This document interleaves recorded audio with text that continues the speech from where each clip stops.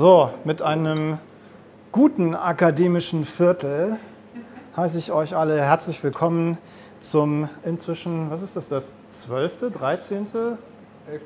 11., 12. Um und bei, also gut 10 haben wir schon. Auf jeden Fall herzlich willkommen zu Invino Amicis. Invino Amicis, eine Veranstaltung, die wir seit mittlerweile zweieinhalb Jahren gemeinsam machen. Das ist Karl-Heinz Handke von der Weltfirma Traubenschätze und mein Name ist Dr. Thomas Kukulis von der Rampenform Medien GmbH und wir heißen euch alle herzlich willkommen zu diesem Event in Vino Amicis sowie in Vino Veritas, nur dass heute im Wein nicht nur die Wahrheit liegt, sondern auch die Freundschaft. In Vino Amicis ein Event, wo wir Weintasting und Networking machen, wo wir zusammenkommen und schöne Weine trinken und uns mit diesen schönen gemeinsam über schöne Weine und andere Dinge unterhalten. Und wie es traditionell so üblich ist bei diesem Event, haben wir auch einen Gast heute, Christian Hemschemeyer. Ich freue mich sehr, dass er da ist. Ich tue mir keinen Abbruch zu sagen, dass er nicht nur Coaching-Kollege ist von mir, sondern dass ich auch ein großer Fan von ihm bin und ganz, ganz großartig finde, was er macht. Das ist in Buchform zusammengefasst. Deine fachliche Expertise, der Liebescode, dein Buch ist dieses Jahr erschienen und ganz, ganz tolles, spannendes Werk. Aber auch auf YouTube hast du mittlerweile, ich glaube, 400 Videos oder sowas. Ja. ja. Also, das ist geballtes Wissen, was man da findet geballtes Wissen auf YouTube. Und heute ist er hier und wird ein bisschen was aus seinem Buch lesen, wird ein bisschen was aus seinem Arbeitsalltag als Paarcoach erzählen. Und da sind lustige und spannende und zum Teil auch dramatische Geschichten dabei. Das ist ganz, ganz großartig. Ich freue mich sehr, dass du heute da bist. Vielen, vielen Dank. Und ich musste eben noch, weil das hier so eine nette Runde ist, musste ich noch mal an eine Sache denken. Da weiß ich, ich hatte mal eine Freundin, als ich, wenn ich mit der los war, die haben immer andere Frauen angegraben. Ich weiß auch nicht. Also immer, wenn ich mit der los war, haben mich andere angegraben. Da waren wir auf so einer Hochzeit und dann äh, hat da meine Freundin gesessen, da so eine andere Frau und irgendwann hatte ich von beiden Frauen so die Hand auf meinem Knie und dann dachte ich, okay, wie geht man jetzt mit dieser Situation um? Das war das war scheiße. Okay. Ah, weiß ich auch nicht mehr. ich vergesse.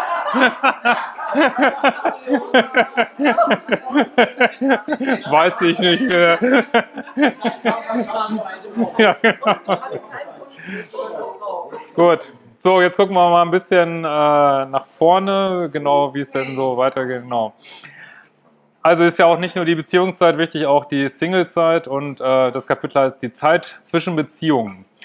Beziehungen sind und waren nie einfach. Also wir haben auch darüber unterhalten, eben was früher einfacher, ich glaube nicht, da war halt nur mehr Druck immer und konnte sich ja auch nicht so trennen. Klar, am Anfang hängt der Himmel voller Geigen, aber zwei unterschiedliche Menschen zusammenzubringen auf eine konstruktive, wertschätzende Art ist ein Meisterprojekt des Lebens. Jedes Mal, wenn du dann als Single lebst, vergisst du bisweilen, dass diese Zeit genauso wertvoll ist und genauso ein Lebensprojekt darstellt. Du übersiehst, wie mühsam häufig Beziehungen waren und genießt nicht das Leben Hier und Jetzt. Stattdessen erfährst du tonnenweise Datingfrust. Hier ein paar Themen meinerseits dazu. Eine Beziehung alleine macht nicht glücklich. Du kannst mit der tollsten Frau oder dem coolsten Mann der Welt zusammen sein. Wenn du vorher alleine nicht glücklich warst, wirst du es auch in einer Beziehung nicht dauerhaft sein. Irgendwann lässt die Verliebtheit nach. Deshalb ist es so wichtig, sein Leben spannend und vielseitig zu gestalten. Ich nenne das immer so gerne auf YouTube das nice geile Leben. Das ist so ein äh, genau das nice geile Leben irgendwie so. Ähm, dazu kommt, dass jede Beziehung Kompromisse einschließt, was eigene Werte, Hobbys und die Alltagsgestaltung angeht. Du blendest leicht aus, dass dein einziges Beziehungsdrama wegen irgendeiner Kleinigkeit dir gehörig den Tag verderben kann. Stell niemanden auf ein Podest. Wenn du vielleicht schon lange Zeit jemand hinterherrennst, mache ihn nicht zum einzigartigen Traumprinzen, zur einzigartigen Prinzessin.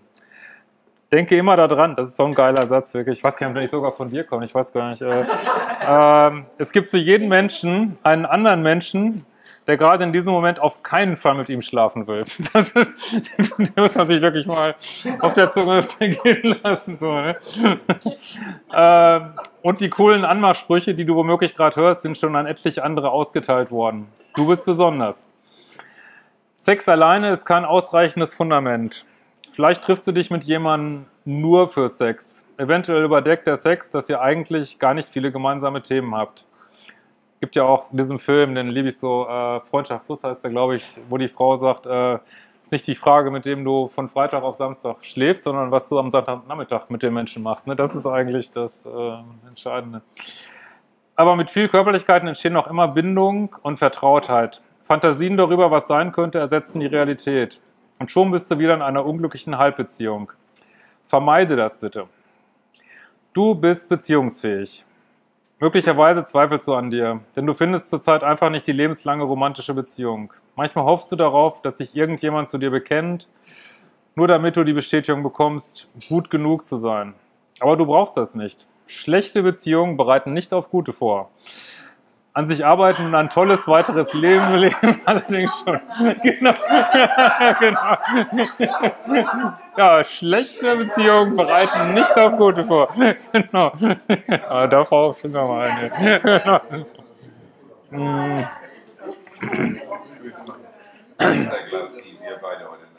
Eigene Standards. Schlimmstenfalls hast du eine Hurricane-Beziehung der Klasse 5 hinter dir. Nur weil das nächste Date dich etwas besser behandelt, bist du vielleicht immer noch im Sturm. Du entscheidest, wie du dich behandeln lässt. Du musst dir in Ruhe klar darüber werden, was deine eigenen Standards und Wünsche eigentlich sind. Du wirst feststellen, dass viele Menschen nicht bereit sind, diese zu respektieren. Niemals, niemals sollst du deine Standards opfern, nur um nicht alleine zu sein. Lies diesen Satz nochmal. niemals sollst du deine Standards opfern, nur um nicht alleine zu sein. Es bringt auch nichts, Menschen zu treffen, in die du nicht so verliebt bist, nur um nicht verletzt zu werden. Am Ende wirst du es doch und der andere gleich mit. Taten statt Worte. Wenn du emotional etwas ausgehungert bist, bist du besonders anfällig für wunderschöne, schleimige Textnachrichten, schnelle Geständnisse und dergleichen. Das fühlt sich erst einmal gut an. Aber letztendlich zählen schöne Worte wirklich nichts, wenn die entsprechenden Handlungen nicht dazu passen. Nach ihnen solltest du ein Match beurteilen. Ähm, Zurückweisung. Äh, den oder die Richtige zu finden, bedeutet unweigerlich, einige Menschen zurückzuweisen und natürlich auch zurückgewiesen zu werden. Das hat nichts mit dem eigenen Wert zu tun. Du solltest öfters sogar froh darüber sein. Es ist die beste Aktion desjenigen, der dir nicht geben kann, was du dir wünschst. So entsteht Platz für die Richtigen. Mach deine eigenen Regel. Der Schlüssel zum Erfolg in vielen Bereichen ist, an sich und sein Potenzial zu glauben. Es herrscht so viel Mittelmäßigkeit überall, weil viele in ihrer Komfortzone verbleiben. Lebe deine Träume. Vertraue, dass du die Ressourcen dazu findest. Geh einfach los und lebe nach deinen eigenen Regeln. Ja, das finde ich immer noch so spannend, weil ich habe ja, was ich jetzt mache, ich mache ja nur noch Videos und, und habe ja gar keine richtige Praxis mehr und das hätte ich nie, nie vorstellen können, dass sowas überhaupt möglich ist. Ne? Dass man, ich habe mir nur gedacht, jetzt mache ich mal Videos und irgendwann äh, was? Achso, Frauen. Äh. Habe ich ja genug. Genau, das ist. Das ist ja.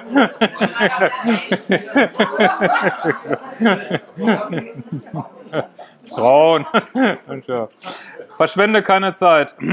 Wenn du jemanden datest, bei dem du bald merkst, das wird eh nichts, geh einfach weiter. Auch wenn du dadurch etwas Sex haben könntest. Du denkst womöglich, oh, das ist ein bisschen Freundschaft plus, das macht ja gar nichts. Aber du entwickelst doch eine Bindung und bist nicht richtig offen dafür, die richtige kennenzulernen. Das gleiche gilt natürlich in dem Fall, wenn der andere deine Datingstandards deutlich verletzt. Je früher ein solcher Datingprozess endet, umso besser. Insbesondere wenn es sich um einen Online-Kontakt handelt, würde ich nur eine, maximal zwei Chancen einräumen. Äh, es gibt immer eine bessere Zukunft. Dem ist nicht viel hinzuzufügen. Wenn du deinen Weg gehst und ein gutes Leben lebst, wie es dir möglich ist, werden die richtigen Menschen dazustoßen. Ähm, danke. Die ersten 100 Tage. Ganz allgemein gilt der wunderschöne Satz, You can't enter too slow into a relationship. Sorry für meinen deutschen Akzent. Du kannst nicht zu langsam in eine Beziehung gehen. Eines der größten Probleme am Anfang ist der Druck, den einer der Partner vielleicht ausübt. Oft sind es die Männer. Derjenige, der verknallter ist, gerät leicht zu sehr in die Untenposition in der Beziehung der andere ist in der Oben-Position und gibt das Tempo vor. Wenn du der Verliebtere bist, gib dem anderen Zeit, in seinem Tempo auf dich zuzukommen. Geduld ist eine der wichtigsten Eigenschaften dieser Zeit, insbesondere wenn du von deinen eigenen Gefühlen übermannt wirst. Lieber erst einmal etwas zurückhalten, aber das betrifft nur die Phasen, in denen ihr euch nicht seht. Auf einem Date kannst du auch mal Vollgas geben. Wenn du dich gut fühlst, gibt es keinen Grund, das nicht auszudrücken. Aber bitte nicht alle fünf Minuten. Ich hatte Paare, die sich Sex aufsparen wollten, zum Beispiel für die Ehe. Die Wirkung ist eine Katastrophe, ehrlich gesagt.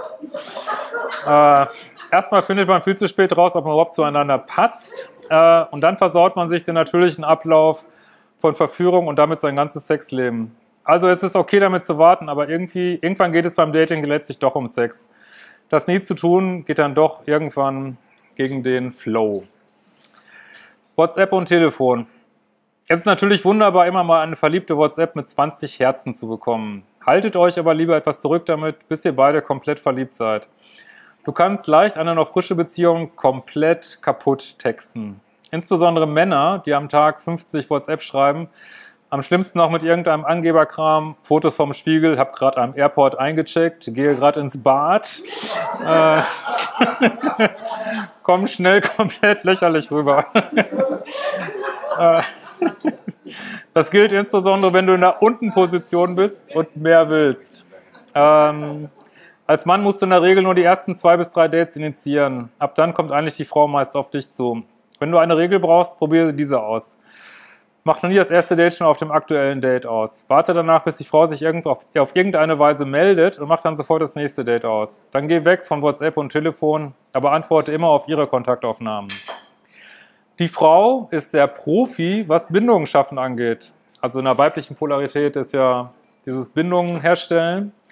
Ein Auto kaufst oder verkaufst du auch nicht am Telefon.